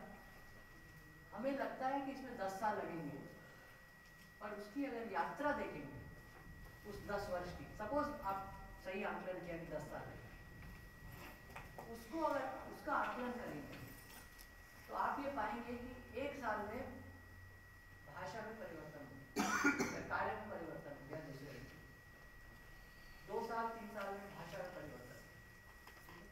मन में परिवर्तन में दस साल पर आप आपका जो जिससे आप दुखी हो रहे हैं त्रस्त हो रहे हैं वो तो आपका दो साल में कम हो गया। कम से कम फिर वो आपके ओर इस तरह नहीं बोलेगा दूसरे के ओर तब भी शायद बोलेगा ठीक है। फिर उसमें दस साल चाहिए। तो लॉन्ग टर्म के लिए अगर काम करेंगे तो लॉन्ग टर्म में भले ही दस वर्ष लग रहे हो लेकिन उसका जो प्रभाव है उसका प्रभाव बहुत जल्दी आता है। और बहुत जल्दी फिर अगर आप देख पाएँगे तो दिखता है तो उस तो यही अर्थ है कि जो स्वतंत्रता और स्वराज तो मेरे जीने में अगर मेरे जीने में आ जाता है ठीक है तो और मेरी समझ भी बढ़ती है इसमें, इस प्रोसेस में तो मैं जो हूँ मैं पहले से ज़्यादा सुखी हूँ पूर्ण सुखी की बात नहीं करता जैसे कि इसके लिए समय लंबा समय चाहिए ten with epsilon and delta लेकिन जो सुख है सुख है तो मेरे सुख में एक्सपेंशन सर इसमें स्वराज को थोड़ा कैसे समझना चाहते हैं स्वराज मतलब जीना जीना बस जीने के कारण जो हम कर रहे हैं इसमें सर अनुवादन भी आएगा सब कुछ आएगा जीने में सब कुछ आएगा तो अगर हम समझ के आधार पर सेल्फ ऑर्गेनाइज हो गए ठीक है स्वतंत्र हो गए तंत्र मतलब ऑर्गेनाइज सेल्फ ऑर्गेनाइज हो गए सेल्फ ऑर्गेनाइज होके जब हमने काम किया ठीक है तो वो जीने में आया इसी को स्वराज जीने का आने का मतलब है कि निरंतर होते रहना है सर स्वतः से प्रारंभ होकर के सब है उसमें कभी निरंतर भी है कभी नहीं भी है। वो कितनी समझ है उस पर आधारित है। समझ। हाँ। मैं कितना सेल्फ ऑर्गेनाइज हूँ कितनी समझ मुझमें आ गई है। उसके आधार पर मैं जीऊँगा ठीक है? कभी कभी गुस्सा भी आ जाएगा तो उसका फल भी भोगूँगा। गुस्सा नहीं आया और चीज़ों को रिजॉल्व किया ठीक से आगे बढ़े। करेक्शन करें। तो उसका भी अपना अलग उसका फल अलग आएगा फिर भी स्वराज रहेगा क्योंकि वो थोड़ा स्वराज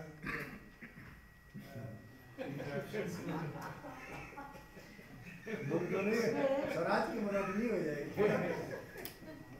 इसमें ये है ये ये ये ये वैसे अच्छा अच्छा प्रश्न है कि अगर ये सब हो गया तो फिर जीने में मज़ा ही कहाँ साहब।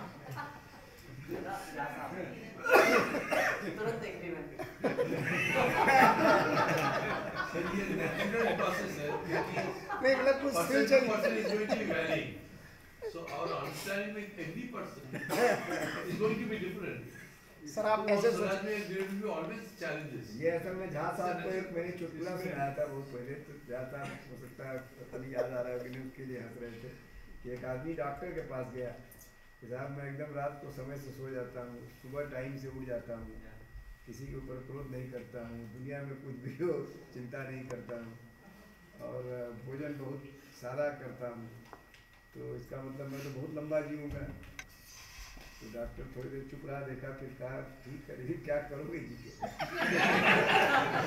ये वाला प्रश्न है। ये बहुत अच्छा प्रश्न इसको आपने जो मैं बिल्कुल यही कहने वाला था जब आपका वो आप बताने वाले थे कि मेरे जीने का कोई लक्ष्य है। जैसे मैं आपसे लक्ष्य विहीन अगर हो गए तब वो लगेगा कि अरे पहले कम से कम कुछ तो कर रहे अब तो खाली बैठे हैं।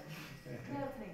जैसे क्यों एक मिनट। क्योंकि अगर हमारा लक्ष्य तय होगा उसके तहत हम काम करेंगे तो जीने का अलग आनंद है। उसका रस है। जैसे अब अब हम लोग ट्रैवल करते हैं तो ऐसा लगता है पीसफुली गए डेस्टिनेशन पे पहुँच गए।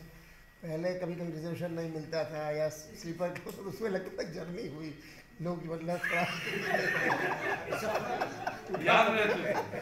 अभी भी याद रहते कि आपने किसी की सुराई फूट जाती थी तो फिर उस पर झगड़ा होता ये सब अब ये सफ़र में। ये चीज़। इसलिए यही बात है। लेकिन सर आपने एक लक्ष्य नहीं रहा। एक मिनट सर आपने एक बात ये हो सकता है इसका आपने उदाहरण बताया कि पहले बहुत सारे लक्ष्य थे अब सब लक्ष्य को दबा दिए। आपने लेकिन संबंध में जी रहे हैं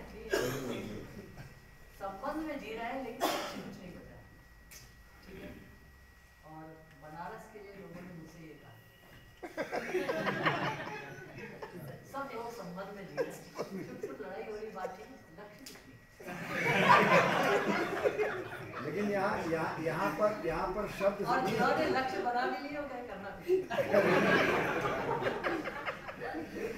मैं नहीं कह रहा हूँ कि लोगों ने बाहर के लोगों ने कहा इसमें आपने एक बात बोली उससे हम आपको उसको डिटो करेंगे। और वो और वो ये है जैसे मान लीजिए हमारी किसी मिस्टर एक्स से डीलिंग है। किसी बात पे मान लीजिए थोड़ी बहुत कुछ बहस हुई। तो हम देखते हैं कि फिर जब मिस्टर एक्स मिस्टर वाई से मान लीजिए डिस्कस कर रहा है अगर तो ज़्यादा सोफिस्टिकेटेड और केयरफुल हो जाता है कि हम कहीं ऐसा लेबल्ड ना हो जाए कि हम हम झगड़ालू हैं या वो है ये चीज़ ज़रूर मैंने देखी है। ये चीज़ लेकिन ये जो लक्ष्य की बात ये भी आवश्यक है। सर कुछ लोग तो एकदम जीवन- हाँ। प्रकृति के तारतम्य में ही जीते हैं। उनको पता ही नहीं था मगर हम लक्ष्य क्यों बनाए प्रकृति को ही लक्ष्य बनाने दीजिए। अल्टीमेट जो होता है जो लोग कहते हैं शाश्वत ज़िंदगी है तो हम क्यों लक्ष्य बनाए? प्रकृति ही क्यों ना लक्ष्य बनाए कि हमें जीना कैसे? इसमें प्रकृति को जो हम मान रहे हैं उसे मानवगत व्यवस्था में शामिल कर रहे हैं? शायद वो लोग नहीं कर रहे हैं सर। शायद वो लोग नहीं कर अगर मानवकृत व्यवस्था को शामिल करेंगे। बनाना हमारा ये मानना है कि वो भी प्राकृतिक व्यवस्था है। जो आदमी के लिए सहज है वो भी प्राकृतिक व्यवस्था है। और उस प्राकृतिक व्यवस्था में हम जी रहे हैं तो बहुत बढ़िया आनंद से। हैं। हाँ ये लेकिन अगर उसमें अभी वो प्राकृतिक नहीं है क्योंकि वो मानवकृत है तब हमारा लक्ष्य क्या बनता है? हम अच्छे से खुद में भी अच्छे से जिए।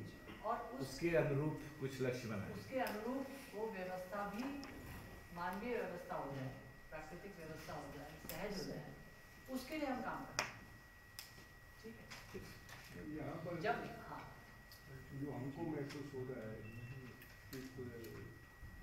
अगर हम जी रहे हैं जी रहे हैं तो परिवार जी और व्यवस्था भी है तो इस सबके स्वतंत्रता के साथ में हमारा एक उत्तरदायित्व बोध भी है अगर उत्तरदायित्व बोध हमारा रहेगा तो हमेशा लक्ष्य कुछ न कुछ रहेगा बिल्कुल बिल्कुल वही उत्तर उत्तरदायित्व जो है वही लक्ष्य निर्धारण में हमारी सहायता है उत्तरदायित्व बोध रहेगी तो जिसमें भी सामंजस्य स्वतंत्रता से रहेंगे और स्वतंत्रता जो है वो सार्वभौमिक है अगर सार्वभौमिक स्वतंत्रता के नीचे हम लोग मान लेंगे तो वो क्लैश नहीं होना चाहिए ठीक ठीक।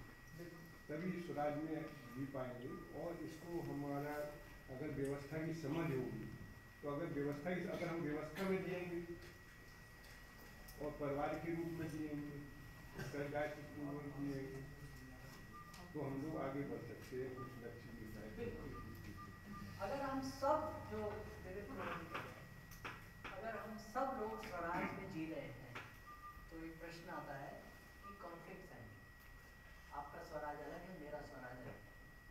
ठीक तो लार्जर ऑर्डर जो वो भी एक व्यवस्था है। उसमें कॉन्फ्लिक्ट नहीं उसमें ठीक है? तो ये समझ आधार क्योंकि तब तक तो यही लगता रहेगा कि एक दूसरे का जब मैं अपनी स्वतंत्रता के आधार पर जब काम करता हूँ जीता हूँ। और दूसरा भी अपनी समझ के आधार पर जीता है। और समझ का अर्थ है ज्ञान के समझ स्वत्व के अर्थ है। तब कॉन्फ्लिक्ट्स आती हैं। ये ये ऐसा नहीं है। तो लार्जर हार्मनी जो है उसमें बिना कॉन्फ्लिक्ट के हम जी सकते बिना conflict। बिना कॉन्फ्लिक्ट ठीक है? और वो कब आती है? जबकि हम हमारी समझ जो है स्वयं के बारे में दूसरे के बारे में। और भावना संबंध जो मूल्य है उसमें उसकी पहचान है। ठीक है? ये इसको हार्मोनाइज करते हैं। इसको जो दूसरे ढंग से लोग कभी कभी रिप्रेजेंट करते हैं कि आपकी स्वतंत्रता वहीं खत्म होती है जहाँ से मेरी नाक शुरू होती है। हाँ ये आपको पता ही होगा कौन सा दार्शनिक था पश्चिम का। इसने फ्रीडम को कैसे डिफाइन किया था? कि मेरे हाथ में एक लकड़ी है मैं घुमाता हुआ जाऊँ और वो लकड़ी आपकी नाक पे न लगे बस। ये फ्रीडम ये मनमानी। वो वो दिखता है। जिस विचार से वो चीज़ आई है वो वही है। अब हो क्या गया कि हम इसलिए हम हमने अपने यूनिवर्सिटीज बनाई सब विभाग खोले ठीक है? पढ़ा तो वही है। इंक्लूडिंग बी ठीक है? मालविया जी ने क्या सोच के बनाई थी और कहाँ पहुँचे वही चीज़ें पढ़ा रहे हैं। क्यों पढ़ा रहे हैं? क्योंकि ये समझ नहीं पैदा कर पाए कि ये जो सोच में अंतर है, और ये फ्रीडम और स्वतंत्रता में ये अंतर है, और भारतीय दर्शन जो है, और ये जो पाश्चात्य दर्शन की इस तरह की कुछ चीज़ें आई मैं ये नहीं कहूँगा पाश्चात्य दर्शन में सारी ऐसी चीज़ें हैं, पर वो अभी हाईलाइटेड है कुछ इस तरह, इस तरीके की चीज़ें कि फ्रीडम क्या है? तो वहाँ से शुरू होता है कि भाई दूसरे को नुकसान ना हो। ठीक है उतनी फ्रीडम उसका उदाहरण क्या है? हाथ में लकड़ी है उसे घुमा रहे हैं आपकी नाक पे ना कैसे कैसे उदाहरण इसके बाद एक और है सर। मतलब ये पराकाष्ठा है। ठीक है मनमानी की पराकाष्ठा। और उसको डिफाइन किया उन्होंने कंट्रोल किया। क्या? नाक पे ना लगे ठीक है? उसका पार्ट अप्रिशिएट कीजिए उसमें उस पॉइंट को एम्फेसाइज किया कि दूसरे की नाक पे ना लगे और दूसरा, इसी से थोड़ा सा और मिलता जुलता एक स्टोरी है सर एक छोटी सी, दो दो लाइन स्टोरी है। एक गाँव में सर एक साधु बाबा रहते थे और वह एक सांप था। बदमाश। बिना बोले लोगों को काट लेता था। तो गाँव के लोग त्रस्त होकर बाबा के पास पहुँचे कि, बाबा, रक्षा कीजिए हमारी इससे। तो उन्होंने बाबा को सांप को बुलाया और आदेश दिया, काटो मत सांप ने काटना बंद कर दिया। सुबह निकला तो जनरल जो बदमाश लड़के थे, उसे डर गए पहले फिर याद आया ना ना ये तो काटेगा नहीं। है तो उन्होंने उसको मारना शुरू किया। और जब मरने की स्थिति में पहुँचा तो फिर भागते हुए बाबा के पास पहुँचा बाबा ये क्या हो गया? आपने तो कहा उपदेश दिया कि काटो मत। तो बाबा ने उससे पूछा मैंने ये तो नहीं कहा था फुपकारो मत। तो रहो काटो। तो अगर काट नहीं रहे हो तो फुपकारना मत बंद करो। ये उसी फिलासफी का शायद एक्सटेंशन था। नाक वाली फिलासफी इसको अपने स्वभाव दोनों तरीके से कर सकते हैं पर उसमें जाए क्या जैसे इच्छा बाद में बाद में इसमें ये समझना चाहिए कि जो स्वराज व्यवस्था का तो स्थापना हुई नहीं ठीक है तो जो बदमाश का क्या है जो पत्थर फेंक रहा है तो समझ के आधार पे तो काम कर नहीं रहा है तो ऐसी अवस्था में हमको कैसे बिहेव करना है सही ठीक है। एट द सेम टाइम ये मुश्किल काम है, हम खुद स्वतंत्र हैं। ठीक है? समझ का लेवल ज़्यादा है। तो सांप ने क्या किया? अनुकरण किया। ठीक अनुशासन उसको कहा कि तुम ये ना करो। स्व अनुशासित तो नहीं हो। अगर स्व अनुशासित होता तब वो उसके तरीके ढूंढता। और वहाँ उसकी क्रिएटिविटी होती है। फुफकारना एक उदाहरण है। ठीक है? क्रिएटिविटी वो क्रिएटिविटी के साथ करता कुछ भी करता अनुशासन से क्रिएटिविटी क्यों ट्रू क्रिएटिविटी जो आती है ना ट्रू क्रिएटिविटी वो क्या है? वो ये पहचानने में है कि नियम क्या है। और उसके अनुसार यहाँ पे अब क्या किया जा सकता है। ठीक है?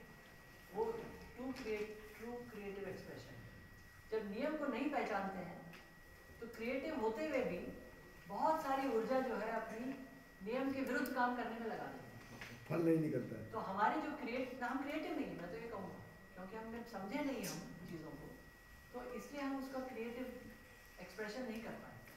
और आधे से ज़्यादा हमारे जो ऊर्जा लगी वो दूसरी दिशा में लग गई। नियम को पहचान लिया तो उसके बाद जो काम करते हैं उस क्रिएटिविटी का जो फल है वो भी और अच्छा मिलता है निकल के है इसीलिए हम लोग कहते हैं कि चोर दो कदम आगे भागता है। पुलिस से मतलब सोच में सो अनुशासन नहीं है। क्रिएटिविटी की कोई कमी नहीं आपने उसको हाँ, तो मैंने गलत तरीके में जाना या गलत रूट पे जाना भी वही है। Creativity is not been put in the proper हाँ, है। somewhere yes creativity is there in all children for that matter हमारे students if you put sir in the proper track में जीने में स्वराज में जीने में सर कॉन्फ्लिक्ट कहाँ से आता है? जो सारी चीज़ें व्यवस्थित है उसके अनुसार लोग जी रहे हैं। बाकी तो आपके समाज के आधार पर नहीं जी रहे तो सब तो अगर सब larger- लोग समझ के आधार पर जिएँगे सर अगर इंडिविजुअल है वो तो असफलता होगी लेकिन जब व्यापक होगा लोगों के साथ होगा पूरे समाज में होगा वो स्वराज होगा। नहीं नहीं। ये इंडिविजुअल है। स्वराज है मेरे जीने का एक्सप्रेशन स्वराज अपना मेरे इंडिविजुअल है। मेरे अपने जीने का जो एक्सप्रेशन है सबका सबका स्वराज एक जैसा हो गया तो बहुत अच्छी ठीक है। तो यहाँ जो शब्द है स्वराज शब्द है उसको इस अर्थ में लिया। स्वराज्य कहेंगे या जो भी बताएँगे वहाँ उसकी आप बात पूरी व्यवस्था व्यवस्थित हो जाए तो हर आदमी ऐसे जीने लगे। ठीक है?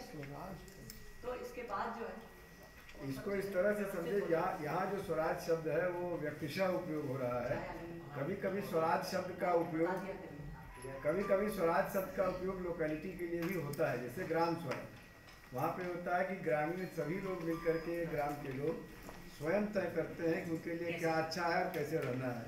बाहरी शक्तियाँ या बाहरी राज्य जो है सभी कुछ निर्धारित नहीं करता है।